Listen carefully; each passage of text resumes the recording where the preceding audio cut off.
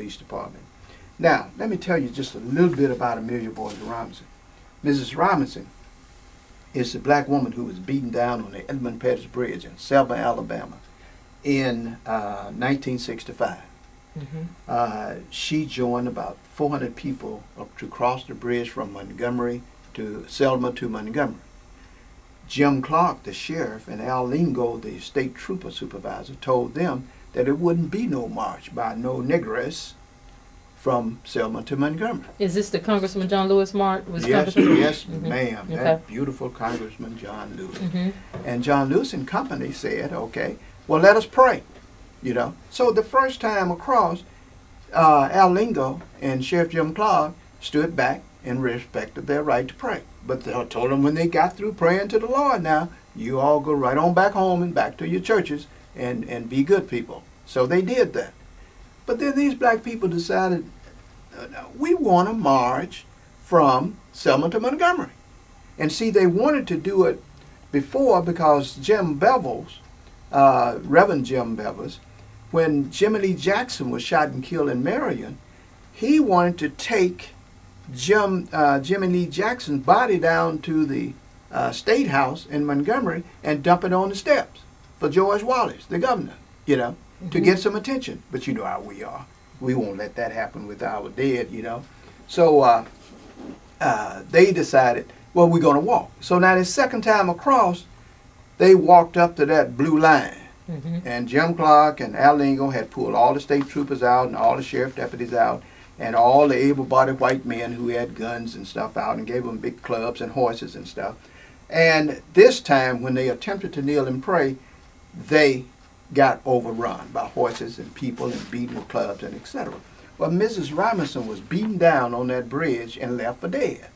And some people told Sheriff Jim Clark, hey, there's somebody over there and we think that they're dead. Jim Clark said, if somebody over there is dead, let the buzzards go eat them. And the black people said, if you don't go and get that person, we're going to burn Selma down. And naturally, Jim Clark went and got that person. Well, that's Mrs. Robinson.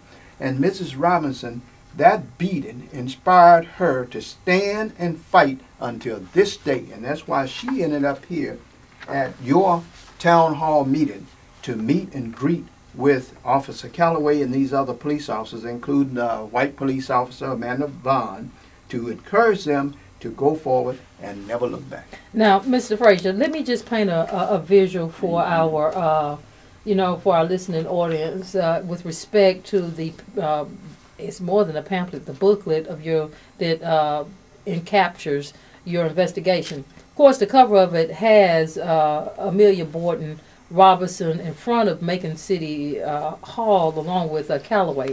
But on the inside, I think that's the real telling piece. I mean, it's a real uh, telling piece uh, as you uh, broach on the subject of the Macon Police Department. You have a photograph of uh, Mayor Robert Reichert. What page are you on? I'm on this page right here Okay, yeah. because uh, it's the comparisons that's interesting. You have a picture of Mayor uh, Robert Reichert, um, and then you have a picture of City Hall, and then you have a picture of Chief Thomas Burns. Then below that, you have a pair, um, uh, a photograph of uh, Mayor Joseph uh, Smitherman, who was the mayor, I guess, at that time of Borton uh, in Selma, Alabama. You have a photograph of uh, Selma, the cover of the bridge, and then you have a photograph of Sheriff Jim Clark uh, in Alabama, who is the uh, sheriff that you mentioned on on the bridge. The choices, the Well, choices of these photographs uh, is very telling to me. It, it's, it's a comparative analysis of two cities in two periods of time whereby you had a mayor who didn't give a damn about the people of Selma. And it appears as though you have a mayor who don't care much about the black people. And I'm talking about the least of these. I'm not talking about the black people that he can go to church and sit up and smile with and they can shake hands and rub shoulders and feel good and those people can go home and get in their Lincolns and go uh, outside the church and go home, get in their Lexus outside and go home. How I'm not you talking about that? those people, huh? How did He's you been know here a year. you did that? He's been here a year. Hey, I know a whole, I know a whole lot about what's happening. I'm actually here. being sarcastic. But but see, it's more to it than that. It's what you do. If if you got old senior citizens who come out in front of their sitting place and they sit there to talk and to rejoice and to wait on their bus rides and etc. And then the mayor make an arbitrary decision to take away their benches because some hoodlums are who are hanging around in the area. Well, then that's reflective of what Smitherman thought about black folks back in 1965 because that's a police problem. All you got to do is put a police officer on a motorcycle and sit him down in front of that place and assign him to keep the riffraff separated from the quality senior citizens. You know, and if you don't have enough sense to know that as a mayor, you got a problem. You see, and then if you let your police chief be negligent enough not to put the police officer on the motorcycle down there to keep them separated and to give uh, quality service delivery to those senior citizens who's paid their dues.